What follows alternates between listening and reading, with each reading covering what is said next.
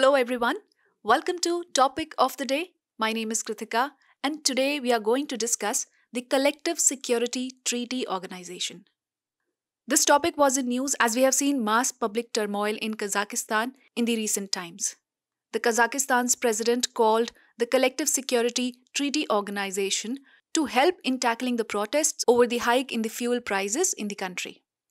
Now, let's discuss a bit more about the issue. In Kazakhstan, there was mass unrest in the recent times when the government decided to end subsidies on the LPG, that is liquefied petroleum gas.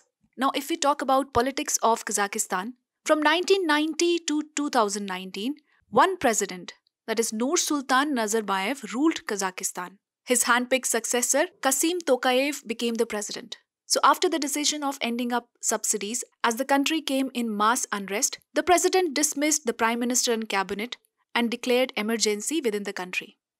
There is a turmoil in the country against rising socio-economic disparities, working conditions, and income inequality, which have been further worsened by the COVID 19 pandemic. Now, let's discuss about the Collective Security Treaty Organization. It is an intergovernmental military alliance that was signed on 15th May 1992, which came into force in 1994. It is also called the Tashkent Pact or Tashkent Treaty.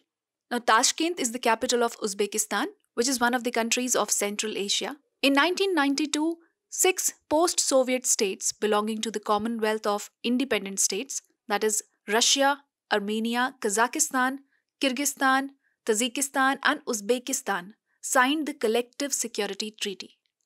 As you can see these countries in the map, all these six countries are adjoining and located in the Central Asian region. Again, in 2002, six countries agreed to create the CSTO as a military alliance. These countries included Russia, Armenia, Kazakhstan, Kyrgyzstan, Tajikistan, and Belarus. And currently, these six are the member nations of the CSTO. Its purpose is to ensure the collective defense of any member that faces external aggression and to support arms sales and manufacturing as well as military training and exercises. It is headquartered in Moscow, Russia.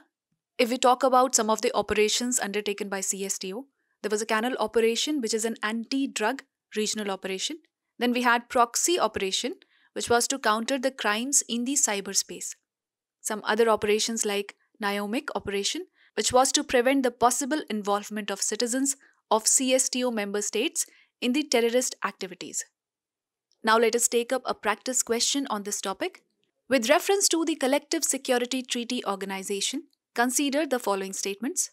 First, it is an intergovernmental military alliance that was signed in 1992. Second, it is the outcome of Maastricht Treaty. Third, it is headquartered in Moscow. You have to choose from the correct statements. You can write your answer in the comment section below.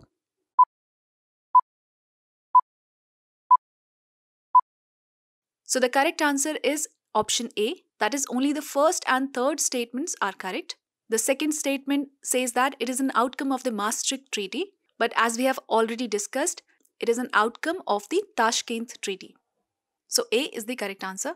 So this was all for today's topic. For regular updates, you can follow us on our social media handles. And for more such videos, do stay tuned to the Next IAS YouTube channel.